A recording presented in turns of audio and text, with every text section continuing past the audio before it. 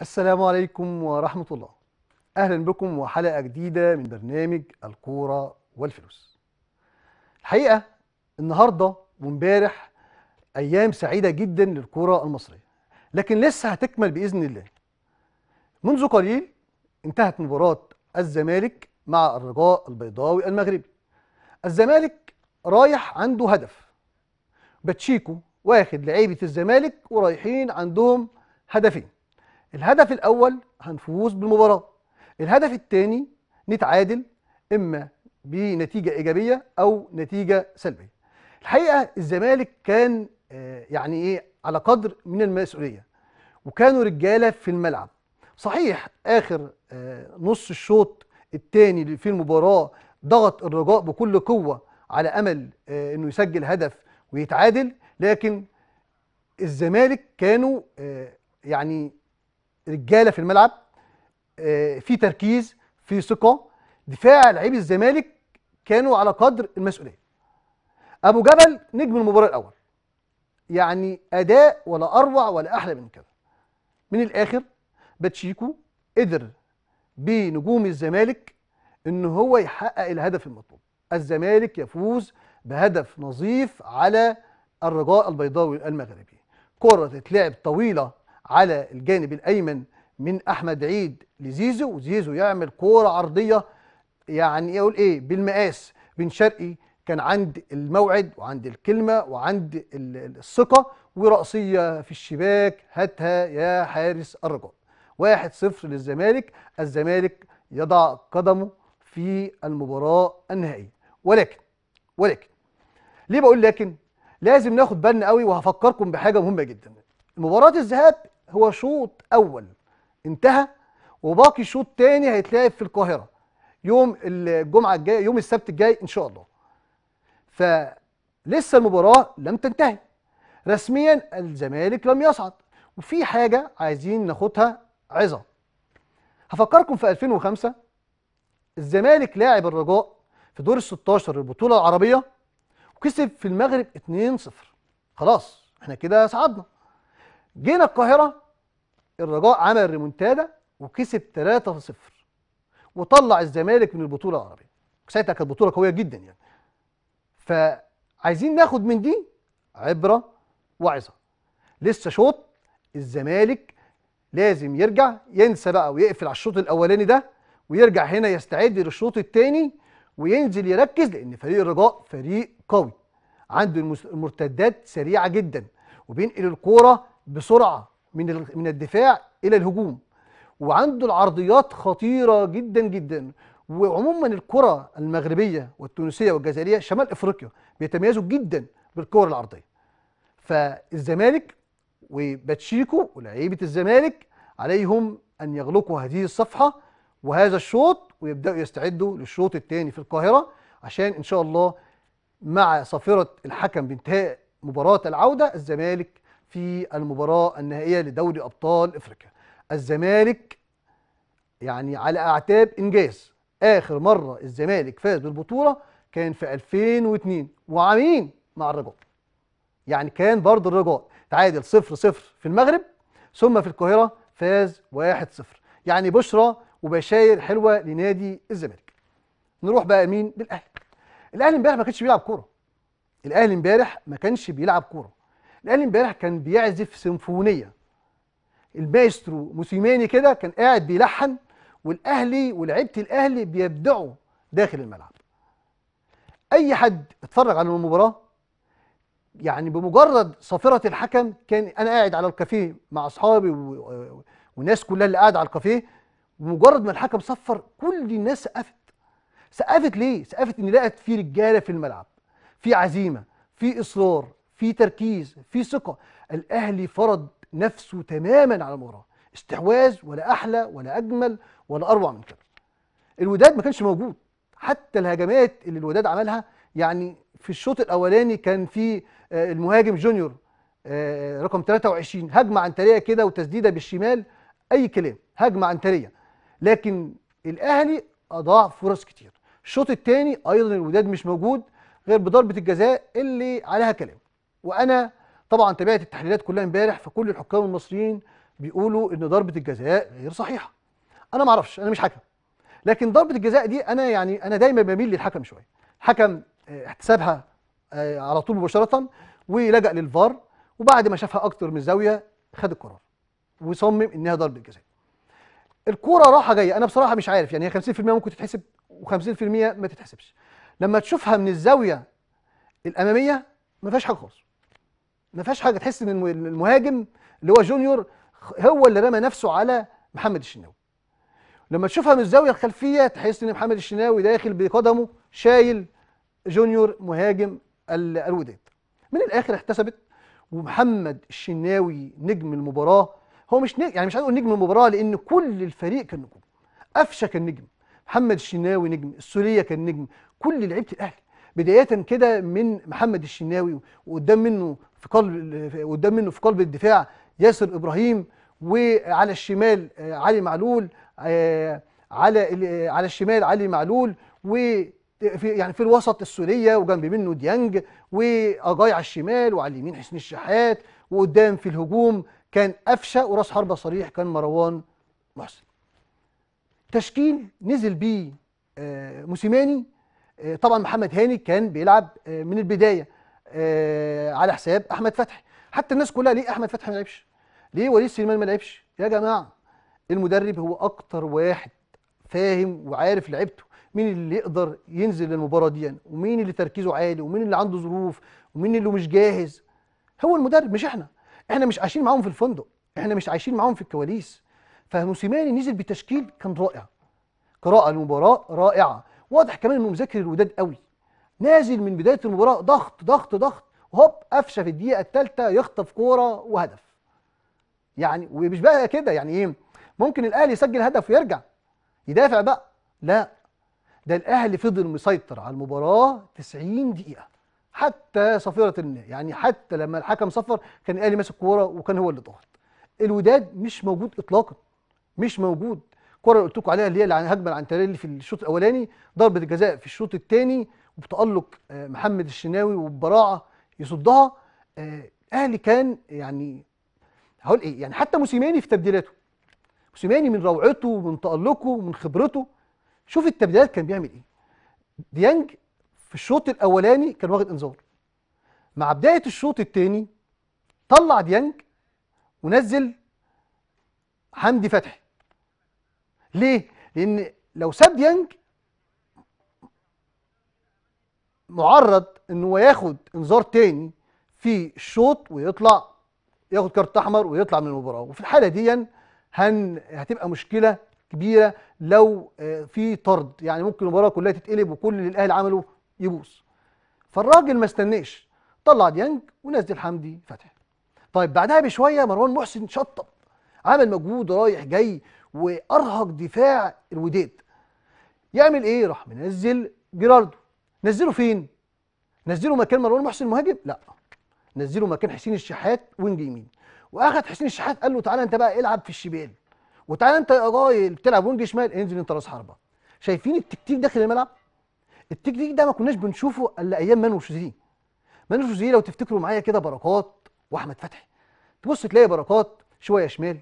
شوية في الوسط شوية في اليمين. هوب بركات جنب أبو تريكة. ومثلث الرعب اللي لو تفتكروه كده كان أبو تريكة وبركات وقدام منهم عماد متعب. أحمد فتحي شوية شمال شوية يمين شوية وسط. كنا بنشوف التبديلات داخل الملعب دي بخلاف التبديلات من خارج الملعب. موسيماني موسيماني نجح في إنه يعملها إمبارح. حتى في تغيير أحمد الشيخ. أحمد الشيخ لما نزل إمبارح هل نزله شمال؟ في في, في ال wing الشمال؟ لا خالص.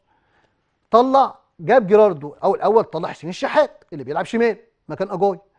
ونزل أحمد الشيخ wing يمين لأن أحمد الشيخ عنده مراوغة وعنده مهارة بيقدر يخترق ويدخل على جوه الملعب وبالشمال ويسدد في المرمى. فالر... فواضح إن الراجل مذاكر جدا جدا جدا وخد جيراردو وداه في الشمال. من الآخر موسيماني رجل المباراة الأول بكل كفاءة واقتدار لاعبي الأهلي فريق الأهلي امتياز مع مرتبة الشرف. الزمالك وضع قدما في المباراة النهائية بينما الأهلي وضع قدمين في المباراة النهائية. ولكن تاني برضو بقول ولكن الكورة لا يعني ما تعرفش المستحيل. مفيش حاجة اسمها مستحيل في الكورة. الكورة وارد فيها كل شيء. كمان المباريات بدون جماهير. يعني مفيش جمهور هناك ولا في جمهور هنا. يعني الكفة متساوية. مفيش أفضلية حتى لصاحب الأرض. فالأهلي والزمالك عليهم أن يغلقوا مباراة الذهاب اللي هو بنعتبر الشوط الأول ويبدأوا استعداد والتجهيز والتحضير للشوط الثاني في القاهرة. هنروح هروح بس قبل ما أروح للرسالة عايز أفكركم الأول بالمسابقة. كان سؤال الحلقة اللي فاتت معانا من هو؟ المدير الفني الذي قاد منتخب مصر للفوز بثلاث بطولات متتالية في أمم إفريقيا. طبعا معلم حسن شحاتة الأسطورة محمود الأسطورة حسن شحاتة. مين معايا يا جماعة؟ الأستاذ عبد الناصر الزهيري الكاتب الصحفي الكبير الأخ والأستاذ والأب و- والمعلم وكل حاجة حلوة ممكن أقولها في حق الأستاذ عبد الناصر. الاستاذ عبد الناصر الزهيري عايز أقول لك في البداية الحمد لله على السلامة وحشتنا جدا جدا جدا. نورت بيتك نورت شبرا كلها نورت مصر كلها. آه، حضرتك بالنسبة لنا مش مجرد أستاذ ورئيس تحرير لأ حضرتك أب لينا جميعا وأخ لينا جميعا. فانا حبيت في الأول أقول لك الحمد لله على السلامه وبعد كده اخد رايك بقى في ماتش الزمالك بما انك بقى زملكاوي كبير وتحليلاتك الرائعه هسمعها منك يعني. حبيبي يا أستاذ علاء اولا ببارك لك على البرنامج الجميل وأنا سمعت عنك سمع خير وإن شاء الله ربنا يوفقك دايما واهلا بكم كل. مشاهدينك على شاشة الصحة والجمال سامعني يا أستاذ معاك يا أستاذ عبد الناصر فأنا بحييك على البرنامج الجميل وبحييك على المقدمة الرائعة اللي أنت قلتها و... وأنت صحفي كبير وشاطر ومتخصص في الرياضة فأعتقد إن أنت إن شاء الله تحقق نجاح أكبر من إن أنت إيه من اللي إحنا شايفينه دلوقتي. وإن شاء الله ربنا يوفقك علاء وهتعمل حاجة كبيرة بإذن الله. شهاده شهادة آه، اعتز بيها من- حبيبي ربنا أستاذي. يكرمك. ربنا يكرمك يا علاء وموفق دايما يا رب. وإن شاء الله نشوفك كده إيه مش برنامج واحد بس لا برنامجين وثلاثه على نفس القناة بإذن حبيبي يا الله أستاذ اشكرك جدا. بالنسبة بقى للماتش بقى قول لي بقى كده ماتش الأهلي والزمالك رأيك في ماتش الزمالك والرجاء رأيك فيه إيه؟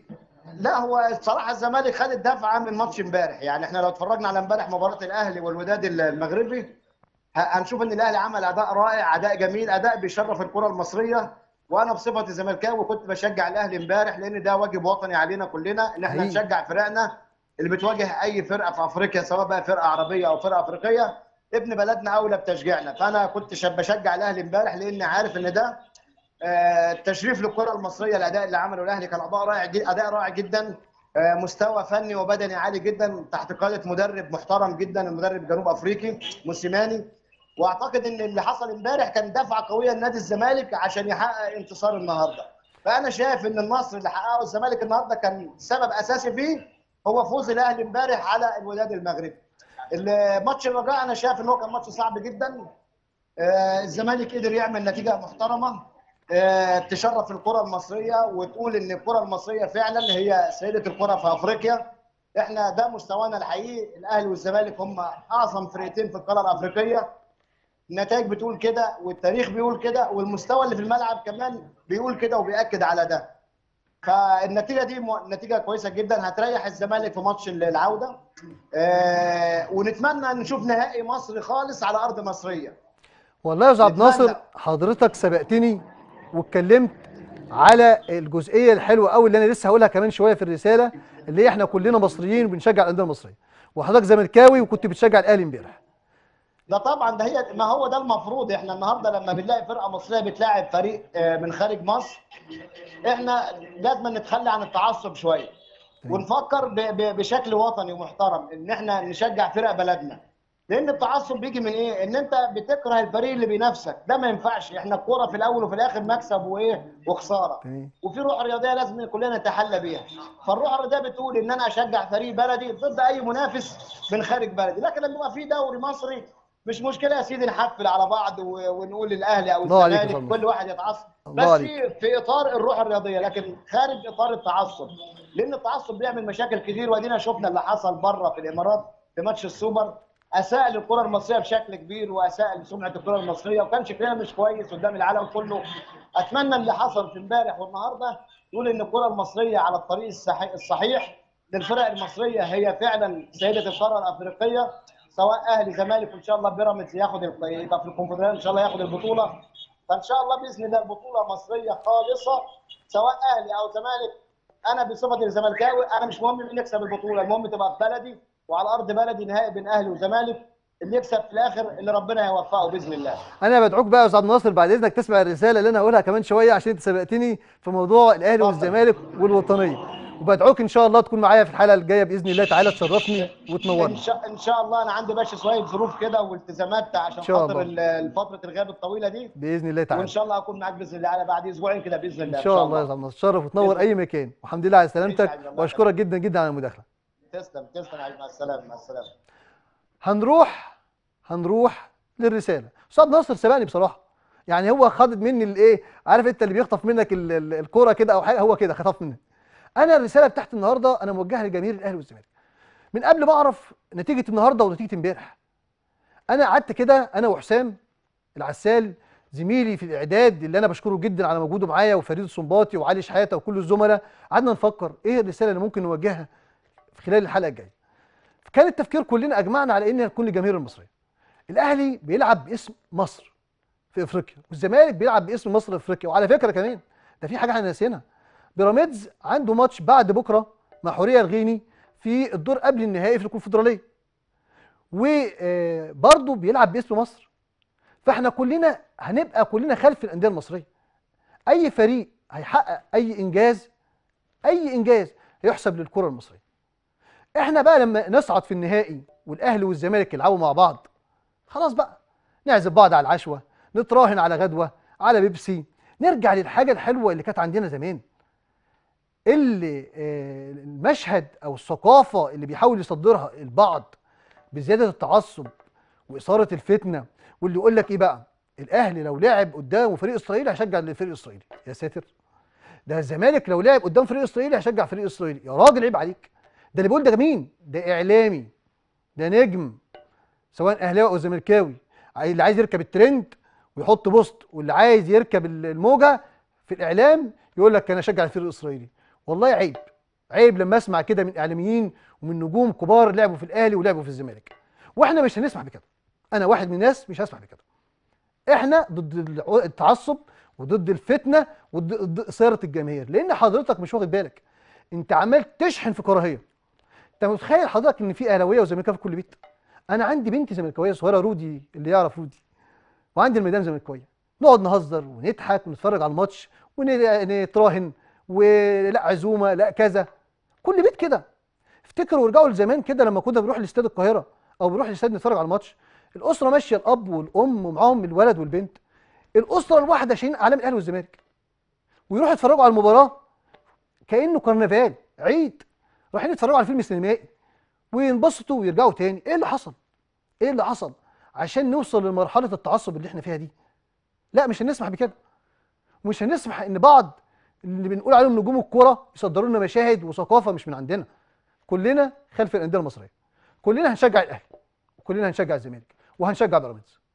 وأي إنجاز وأي فريق هيكسب كلنا هنسقف له. ليه؟ لأنه بيرفع علم مصر. لأنه في الآخر بتقول الأهلي المصري الزمالك المصري بيراميدز المصري. أي ثقافة أخرى غير كده؟ لا. مرفوضة تماما تماما. عشان كده نقول لجماهير الأهلي والزمالك وجماهير مصر كلها عايزين نرجع للروح الحلوة عايزين نرجع للتشجيع الحلو عايزين نرجع للفكاهة ونرجع بقى لل... للقعدة الحلوة ونجيب اللب ونتراهن على الغدوة والعشوة. مش دي مش دي الحاجة اللي كانت عندنا؟ مش ده الجو الحلو اللي إحنا كنا عايشين فيه؟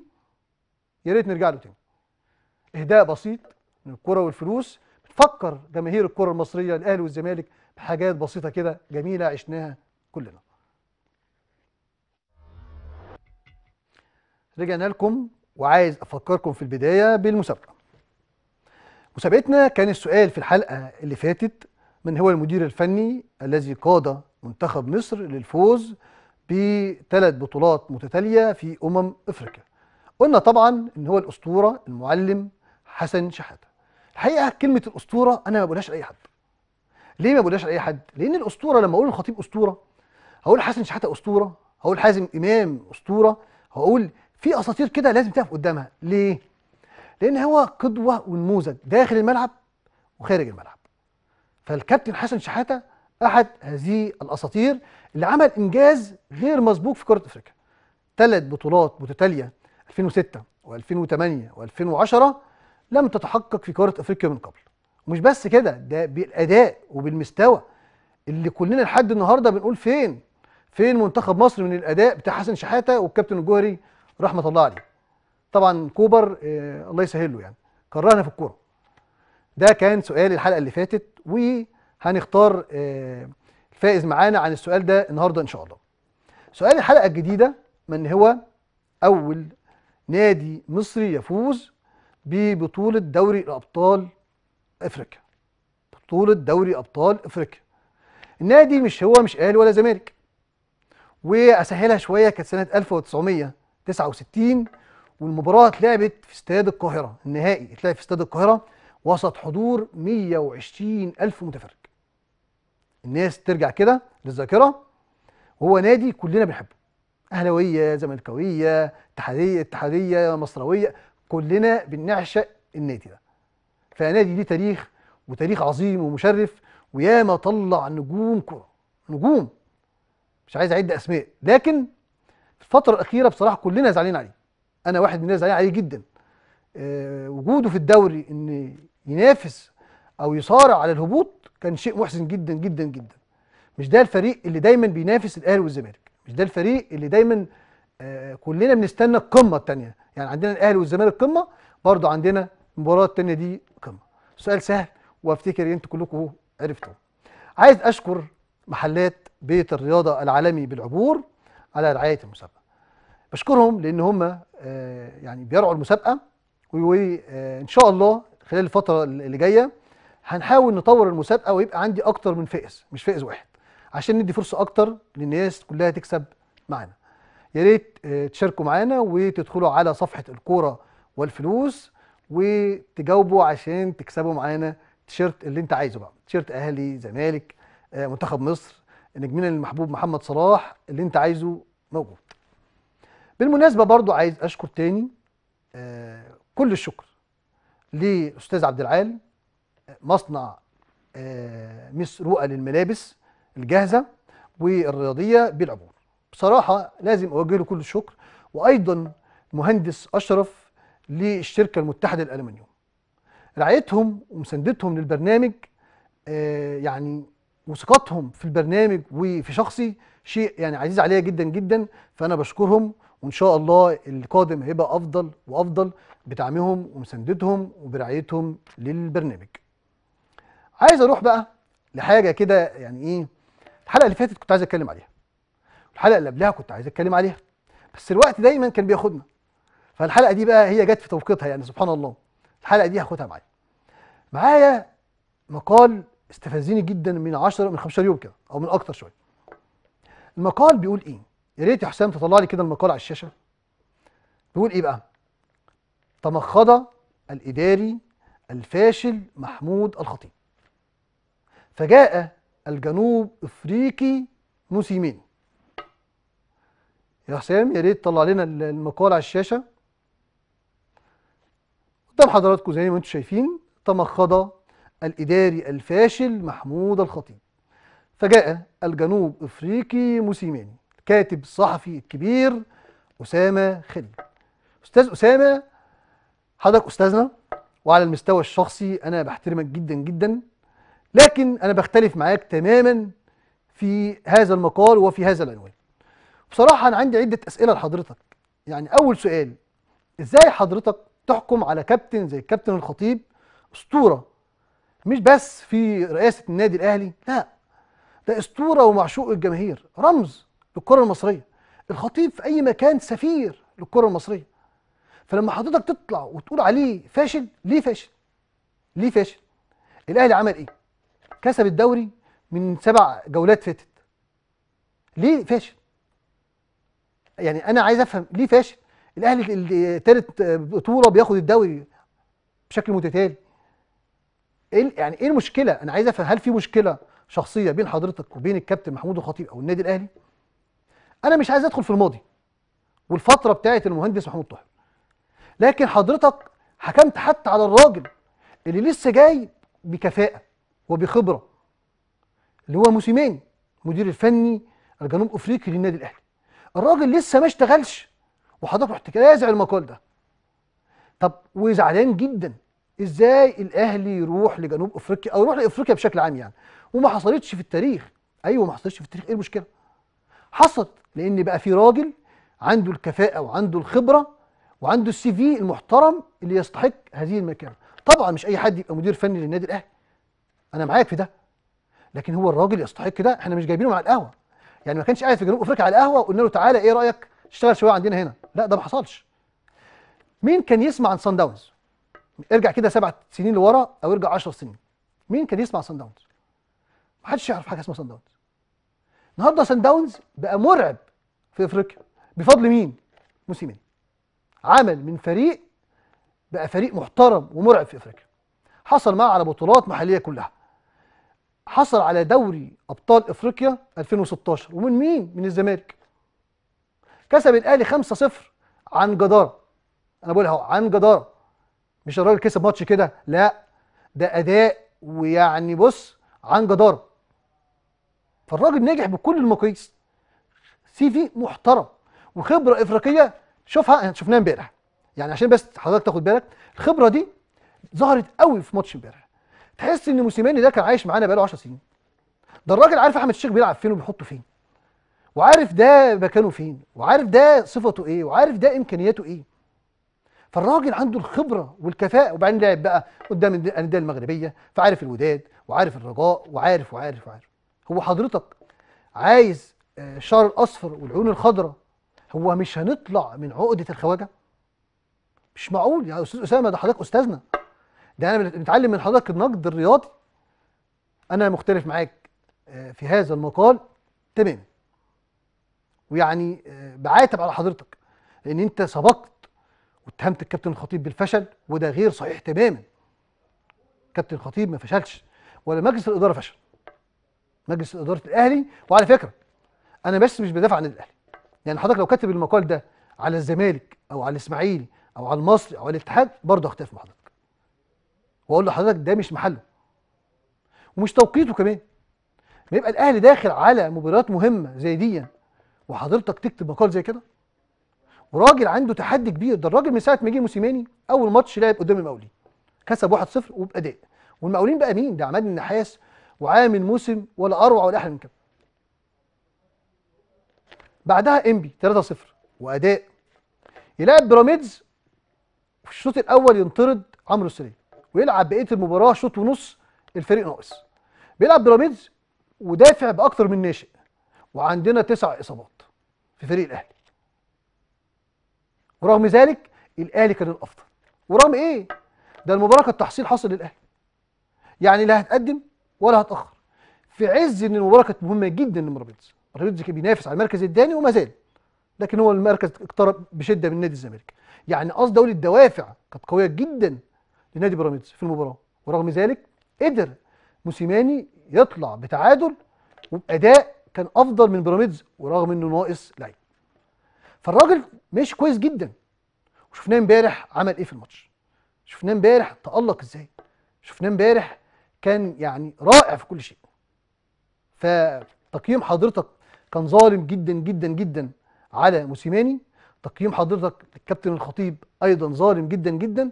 بتمنى تراجع نفسك في آه، يعني ما تتسرحش معلش حضرتك أستاذي وأنا تلميذك بس يعني أنا بطلب من حضرتك ما تتسرحش لأن الخطأ لما بيحصل من أستاذ كبير بيبقى غلط برضه كبير. فمقال غير موفق تماما تماما. ونتمنى إن نشوف مقالات حلوة الفترة الجاية وحاجة بقى تساعد كده على إيه؟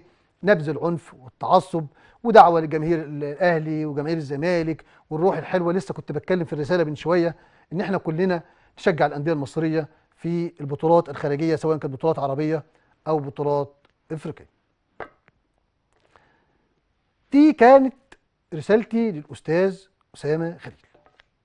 هو أستاذي وبشرف بذلك ولكن كنت مختلف تماما معاه في هذه المقاله هرجع معاكم لماتش الأهلي. في ماتش الأهلي في ماتش الأهلي امبارح وإحنا بنتفرج على الماتش من بدايته كده مين معايا؟ مين يا مين يا فريد الاستاذ الأستاذ هلال السيسي؟ الأستاذ بلال الاستاذ بلال ناقد الرياضي وصديقي الجميل معلش. مساء الفل عليك يا أستاذ بلال.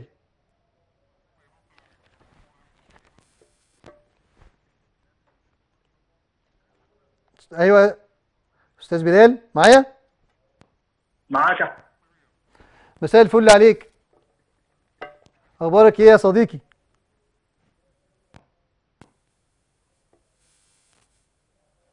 أيوه. طب هنعاود الاتصال تاني لأن في مشكلة في الصوت. هنرجع لي تاني يا أستاذ بلال لأن في مشكلة في الصوت. كنت لسه بتكلم على الأهلي امبارح وبتكلم على نزول الأهلي لأرضية الملعب. أنا بس عايز في حاجات بتبقى في الكواليس. بصراحة أنا امبارح تابعت التحليلات كلها تابعت القنوات. كل اتكلم طبعا على اللعيبة واتكلم على المدير الفني واتكلم على الجهاز الفني والإداري وكابتن في اتنين ما اتذكروش. أو في اتنين مش عايز أقول آه، هو يعني مفيش تجاهل بس ما خدوش حقهم. الأول الكابتن سيد عبد الحفيظ مدير الكرة. كابتن سيد عبد الحفيظ عامل شغل أنا بعتبره بصفة شخصية يعني. كابتن سيد عبد الحفيظ أحد أفضل مدير الكوره في تاريخ النادي الأهلي. ويسير على خطى الكابتن طارق سليم والكابتن ثابت البطل رحمة الله عليهم. فالكابتن سيد عبد الحفيظ عامل شغل هايل داخل النادي الأهلي. عامل التزام وانضباط كل حاجة ماشية بمعايير ثابتة. فليه ما نشوف امبارح الأداء ده وتشوف الرجولة ده وتشوف الانضباط ده؟ ده وراه مجهود كبير قوي. وراه ناس شغالة. كابتن سيد الحفيظ أحد هؤلاء. في بقى حاجة تانية؟ آمين. رجع لنا الأستاذ بلال السيسي صديقي الجميل. مساء الفل يا أستاذ بلال. مساء الفل عليك يا عم علاء ومساء الفل على كل مشاهدي ومتابعي برنامجك على قناه الصحة والجمال. قبل أي حاجة مبروك ليك البرنامج وبإذن الله إن شاء الله تقدم حاجة محترمة خاصة إن أنت شخص جميل وشخص مجتهد ودايما بتسعى إن أنت تقدم مادة محترمة يعني. أشكرك جدا يا صديقي. أستاذ بلال ناقد رياضي كبير وصديق عزيز عليا. آه عايز طبعا أكيد تابعت من شوية مباراة الزمالك والرجاء. الأول عايز آخد رأيك كده في مباراة الزمالك والرجاء. وهل الزمالك كده بالنتيجة صعد؟ لا طبعا إحنا ما نجزم إن الأهلي أو الزمالك الاثنين ضمنوا التأهل أو الصعود للنهائي. خاصة إن أنت بتلعب فرقتين كبار ممكن يكون الوداد لم يكن في شكله ال- المعهود ولكن النهارده الرجاء قدم ماتش كبير جدا رغم خسارته من الزمالك آه، فريق شرس وفريق عنيف جدا. فريق بطل الدوري المغربي السنة دي الحذر كل الحذر منه هو هيبقى جاي مش باكي على حاجة. كل هدف وكل همه اللي هو آه، يحقق نتيجة إيجابية خاصة إن إن النتيجة مش بعيدة وكل شيء في كرة القدم. فبالتالي لازم لعيبة الزمالك تتعامل مع ماتش الإياب بجدية بشكل كبير جدا. آه، ما يركنوش على فكرة اللي هم خلاص حققوا الانتصار خارق الأرض.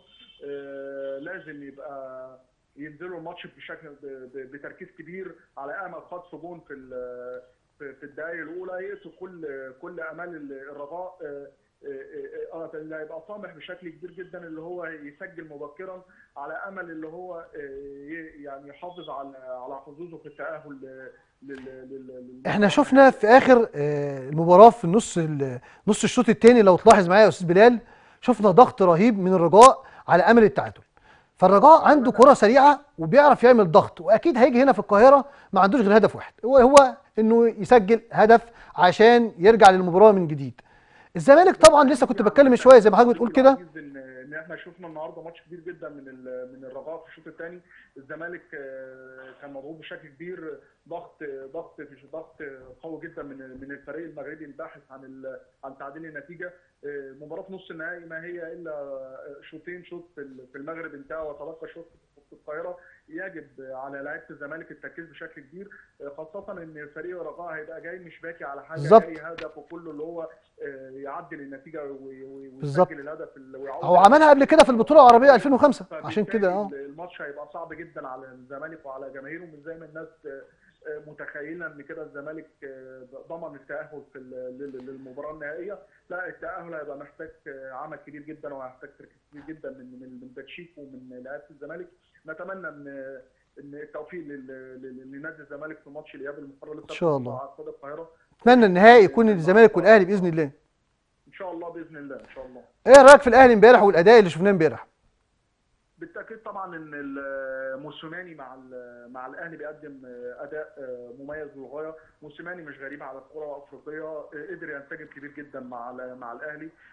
طبق أفكاره بشكل سريع جدا. لعيبه الأهلي لعيبة جاهزة. شايف إن هو خسر خسر وحط عقدته قدام ال- ال- ال- الوداد بشكل كبير. يمكن ده أول انتصار لموسيماني على على الوداد. على ملعبه في محمد الخامس. شفنا إن دي نقطة إيجابية بالنسبة له وشفنا إن إن الراجل جاهز والراجل قاري المشهد كويس جدا وقاري كل المنافسين بشكل كبير جدا. آه، لعيبة الأهلي ظهرت بشكل أكثر من رائع. طبعا محمد شناوي كل التحية وكل التقدير على الأداء المبهر اللي قدمه امبارح. آه، خاصة إن أنت تبقى متسابق في ركله الجزاء وت- وتحافظ على ثباتك الانفعالي وتقدر إن أنت تتصدى ركله الجزاء بشكل الرائع أتمنى. فدي إشادة كبيرة جدا. علي معمول قد- قدم أداء أكثر من راقي وأداء رائع جدا. محمد هاني أيمن أشرف كل لعيبة امبارح كانت في قمة التركيز وقدموا وظهروا بشكل أكثر من ممتاز. نفس الكلام هنقول عليه إن الأهلي ما ضمنش ال- التأهل للمباراة النهائية. إن شاء الله إن شاء الله يكون الزمالك والأهلي في المباراة النهائية. ويكون كرنفال حلو كده نستمتع بيه جميعا.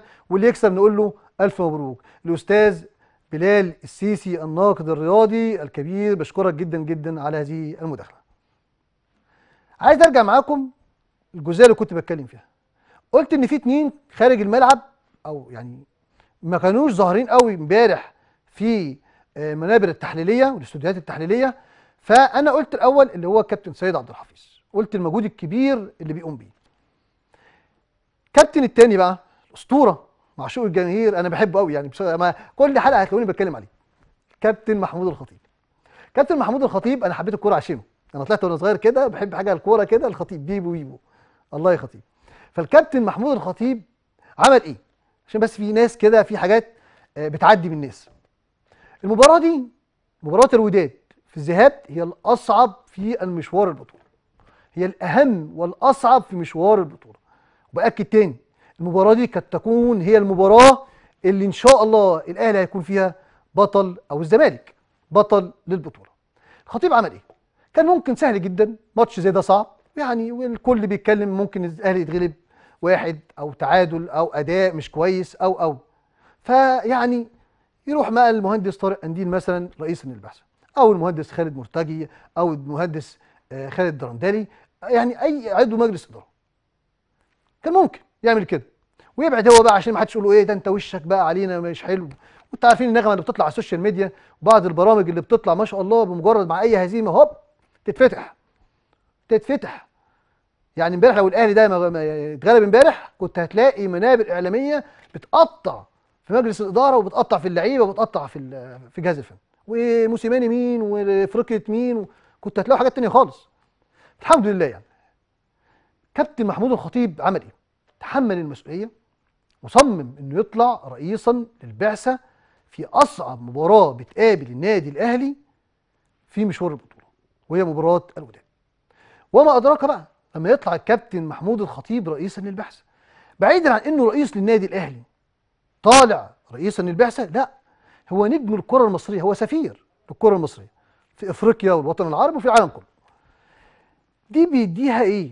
مش بس في عند الضيوف اللي إحنا رايحين هنا عند الدولة الشقيقه اللي هي المغرب لا عند اللعيبة وعند الجهاز الفني إن أكبر مسؤول في النادي طالع معانا المباراة طالع يتحمل معانا المسؤولية طالع يتحمل معانا الضغوط طالع يقول أنا معاكم ومشارك معاكم هنكسب مع بعض هنخسر مع بعض مش ههرب من المسؤولية مش هقول أنا ما كنتش موجود أو اللعيبة أو لا ده مش موجود في الأهلي. كابتن محمود الخطيب أحد الأسلحة اللي ظهرت لعيبة الأهلي امبارح بالشكل اللي إحنا شفناه. انت عارف يعني إيه لعيب يشوف الكابتن محمود الخطيب قدامه؟ مين معانا يا فريد؟ معانا معانا نجم نادي الزمالك ومنتخب مصر صديقنا الغالي المحترم الخلوق أنا يعني يعني مش أقول بحبه جدا كمان لا بعزه جدا جدا. مش بس عشان الملعب والاحتراف آه، السيرة الاحترافية الكبيرة لا عشان خارج الملعب أخلاق واحترام حاجة مفيش بعد كده. معانا الكابتن محمد عبد الواحد نجم نادي الزمالك ومدرب العام لنادي وادي دجلة. مساء الفل عليك يا كابتن مصر. كابتن محمد. ألو؟ كابتن محمد أخبارك إيه؟ معانا كابتن محمد؟ فريد؟ ألو كابتن محمد؟ مساء الخير. مساء الفل عليك. ازي حضرتك؟ الحمد لله تمام. كابتن محمد ألف مبروك للزمالك. الحمد لله رب العالمين. مباراه مهمة جدا و... وألف مبروك للزملكاوية كلهم. والحمد لله نتيجة إيجابية في المغرب. حاجة محترمة يعني. الحمد لله. إيه رأيك في الأداء يا كابتن؟ والله الأداء الشوط الاولاني الاداء كتكتيكي الحمد لله كان أداء آه، مميز. قدرنا نحصل نجيب جول في الأول بن شرقي أحرز هدف. بعد كده الشوط الثاني ما عجبنيش الأداء لكن اهم حاجة ال- ال- ال- ال- النتيجة يعني. أنت عارف إن الأهلي إمبارح برضو ماتش الأهلي إمبارح عمل ضغط على الزمالك نتيجة الأهلي إمبارح ومكسب الأهلي في المغرب. عمل ضغط على الزمالك إنه يطلع بنتيجة إيجابية النهارده. آه، تاني حاجة إن الرجاء فرقة فرقة محترمة فرقة آه، عندها عناصر مميزة فرقة قوية. جدا. فرقة قوية جدا فرقة قوية جدا. الشوط الثاني شفناه وشفنا الشراسة. بتاعتهم. لكن الحمد لله الزمالك قدر يحافظ على النتيجة من الشوط الاولاني ويطلع يطلع لبره الأمان. نتيجة إيجابية وإن كانت مش مطمئنة عشان برضو الناس الزملكاوية ما تطمنش بنسبة 100% كورة فيها الكتير وبرضو نتيجة الأهلي مش مطمنة. آه، لكن بتدينا اريحيه شوية الحمد لله. يعني أكتر حد كان متفائل إن إحنا نروح نعمل حاجة إيجابية إن إحنا نتعادل هناك في المغرب ونطلع ون- ونيجي هنا الماتش الثاني نكسب. لكن الحمد لله الأهلي عمل نتيجة إيجابية هناك بمكسبه 2-0 والزمالك النهارده 1-0 فالحمد لله يا رب إن النهائي مصري آه، على استاد القاهرة إن شاء الله والجماهير مصر كلها تتمتع بالنهائي يعني. كابتن مصر مبروك لنادي الزمالك والأهلي وإن شاء الله آه، نشوف الأهلي والزمالك في المباراة النهائية وأي منهم هيفوز هنقول له مبروك. أهلي زمالك بيلعب باسم مصر. أنا آه، طبعا. بشكرك جدا كابتن محمد عبد الواحد نجم الزمالك. معلش الوقت يعني خدنا بسرعة فأنا بشكرك جدا جدا على المداخلة. عايز أقول في نهاية الحلقة عايز أشكر زملائي في فريق الاعداد فريد الصنباطي وحسام العسال وعلي شحاتة وكل الزملاء موجودين في فريق الإعداد. وبشكر المخرج وبشكر المصور كل الناس في القناة هنا بشكرهم جدا جدا. إلى آه، حلقة قادمة إن شاء الله ونلتقي معكم في حلقة قادمة. والسلام عليكم ورحمة الله.